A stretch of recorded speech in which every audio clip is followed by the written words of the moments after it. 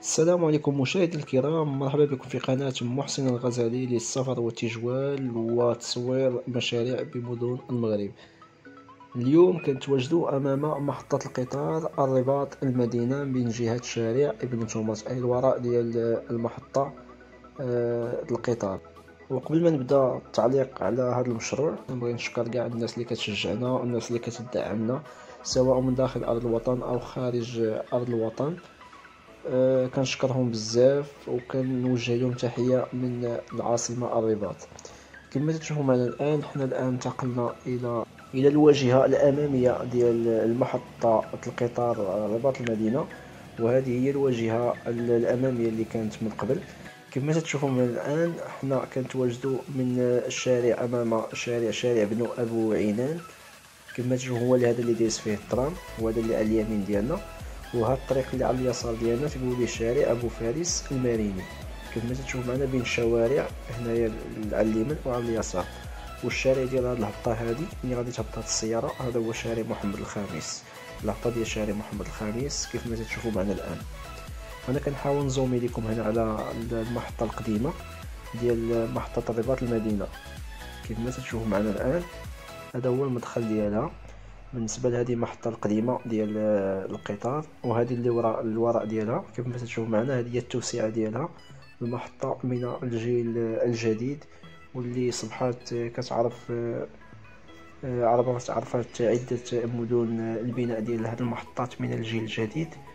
مثل المحطة اللي كتبنى في اللي تبنات في الرباط أكدال التابعة ديال القطار أيضا. ومحطة القنيطرة.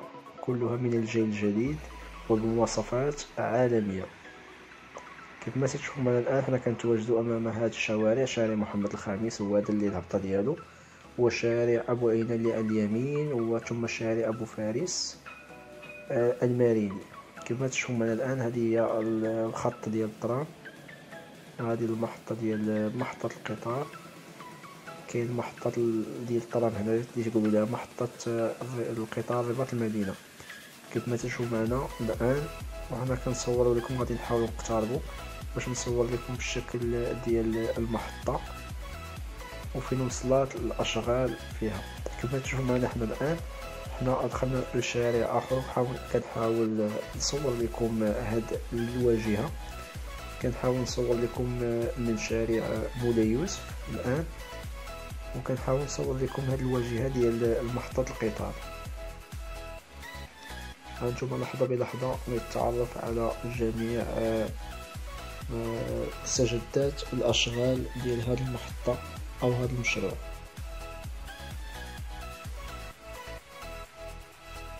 كما تتعرفوا بأن الموقع ديال هاد المحطة ديال القطار رباط المدينة جات ما بين شارع محمد الخامس من الجهة الأمامية ومن الوراء شارع محمد شارع بن تومرت من الجهة اللي بدينا منها التصوير. كيف ما تشوفوا معنا الآن حنا باقي كنتواجدوا على مستوى شارع مولاي يوسف. كنحاول نصور لكم هذه الواجهة باش تشوفوا الأشغال. هذا هو شارع مولاي يوسف كيف ما تشوفوا معنا. القدام ديالو هو فين كاين شارع محمد الخامس منين دخلنا؟ الدخله ديال المكان. كيف ما تتعرفوا بأن الشركة المكلفة ديال الانجاز ديال هذا المشروع وهي المكتوبه هنايا جيت contractors هاد الشركة المعروفة واللي آه، كتصيب عدة آه، مشاريع بمدينة الرباط أو بالعاصمة المغربية الرباط. كما تشوفوا معنا الآن هنايا انتقلنا لهذا المكان. كما تشوفوا معنا هاد الساحة هادي راه كاين تحتها باركينغ آه، تحت أرضي. كما تشوفوا ديال السيارات. هذا هو المدخل ديالو. كيف تشوفوا في هذا المكان المدخل ديال الباركينغ كيف ما تشوفوا معنا هنا الآن. هاد الشارع هذا اللي حدا غادي نحاولوا نقتربوا ليه أكثر باش تشوفوا نحاول نصور لكم زاوية أخرى ديال هذا المشروع هذا وفين وصلت فيه الأشغال إن شاء الله. تابعوا معنا هذا الفيديو لحظة بلحظة. حنا مازال كنتواجدوا أمام هذه الساحة ديال ال parking وكنحاول نصور لكم الواجهة هذه هي المحطة ديال الترامواي. الناس اللي باغا تجي في الترام فالمحطة قريبة ليها من محطة القطار. تهبط من المحطة وتدخل ديال القطار ديال الترام وتدخل لمحطة القطار. كيف ما تشوفوا معنا الآن الواجهة من هذا المكان. كنحاول نصور لكم عدة زوايا حتى تشوفوا الأشغال فين وصلت وبطريقة واضحة. كيف ما تشوفوا معنا الآن شوفوا الشكل تبارك الله زعما ديال هاد المحطة. هاد المحطة هادي كيف ما تتعرفوا الأشغال ديالها بدات في سبعة مارس ألفين وستاش. كيف ما تشوفوا معنا الآن أنا كنحاول نصور لكم هذه الواجهة وفي نفس الوقت كنعطي بعض المعلومات حول هذا المشروع. آه، الأشغال قلنا بدات فيها في 7 مارس 2016 هاي يعني التوسعة ديال هذه المحطة. المهندس ديال هذا المشروع وهو عبد الواحد المنتصر.